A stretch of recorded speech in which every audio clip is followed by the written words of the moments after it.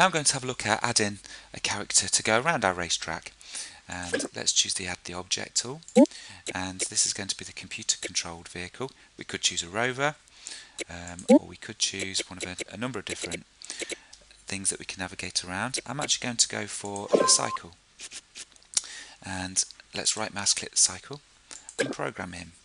So we're going to go for the usual keyboard controls. When the arrow keys are pressed, he's going to move. Let's see what happens now if we start the game. Zoom in a little bit. Here we go, my bicycle's off and running. Now he's a little bit sluggish at the moment. Not particularly pleased with how quickly he's moving. So let's just right mouse click and change his settings and make him a little bit faster. Turn the speed. We'll make him so he can turn a little bit better as well.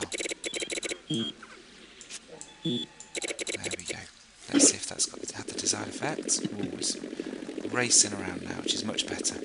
Now I'm testing my track here, wanting to make sure that the bicycle is capable of going up the hills that I've created. Yep, no problem there.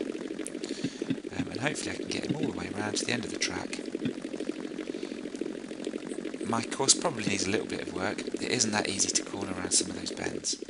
But um, that's depending on the difficulty that we want to make the game. So there's my first character added to my race game.